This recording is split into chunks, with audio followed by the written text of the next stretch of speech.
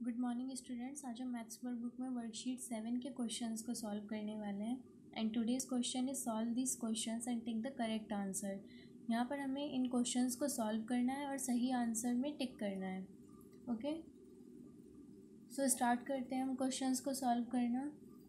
First question is John has two cats the mummy cat has seven kittens how many cats does John have now यहाँ पर कहा जा रहा है कि जॉन के पास टू कैट्स है और मम्मी कैट के पास सेवन कीटेंस है।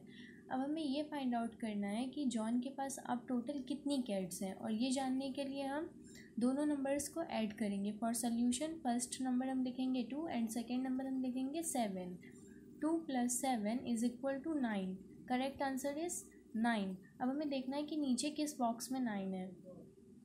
फ़र्स्ट बॉक्स में एट एंड सेकेंड बॉक्स में नाइन और सही आंसर है नाइन इसलिए हम नाइन में टिक करेंगे। इसी तरह हम सेकेंड क्वेश्चन भी सॉल्व करेंगे। Sia has five dolls. She gets three more dolls on her birthday. How many dolls does she have in total?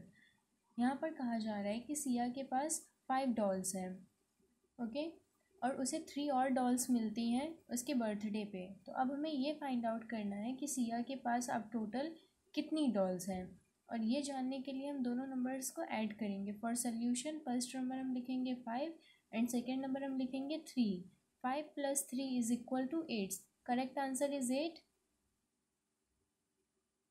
तो हमें देखना है कि नीचे किस बॉक्स में एट है। फ़र्स्ट बॉक्स में एट है एंड सेकेंड में सेवन एंड सही आंसर है एट इसलिए हम एट में टिक करेंगे। Okay okay? इसी तरह ये क्वेश्चन आप अपनी मैथ्स वर्क बुक में भी सॉल्व करेंगे। Okay thank you